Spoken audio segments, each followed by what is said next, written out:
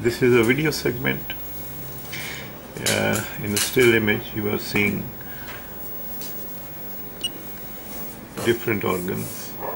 This is the liver, and when the liver is uh, enlarged, you are capable to make out and uh, identify multiple structures at one given time. Let's say, I mean, this is a, a light liver, and the window uh, liver being the window, you can see the pancreas. This is the pancreas, this area. This is the aorta. This is the IVC.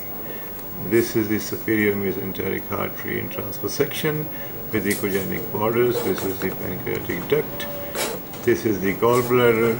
This is the kidney, right kidney in transverse section, looking black because of the uh, fatty uh, liver. And this is the spine. And uh, this is a section which is uh, which has been, uh, you know, I am using the transverse approach from the epigastric region and this is what I am seeing.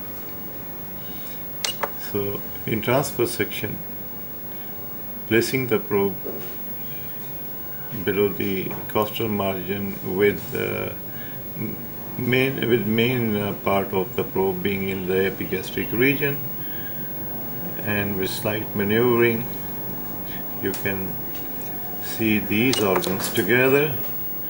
This is the portal vein, okay, and uh, this is the splenic vein. The splenic vein is the uh, marker for the pancreas. The pancreas, this, this is pancreatic body, the head of the pancreas.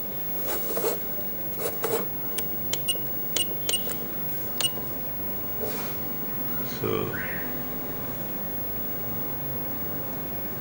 This is one view, uh, uh, one of the methods, if we can get, provided if the liver is alive, you can see the, uh, compare the echogenicities uh, of the different organs, provided the liver is normal, but in this case the liver is fatty, and that is the reason for uh, seeing the pancreas uh, having uh, showing a, a, little decreased parenchymal echogenicity and the kidney parenchyma appearing black because of the uh, fatty liver.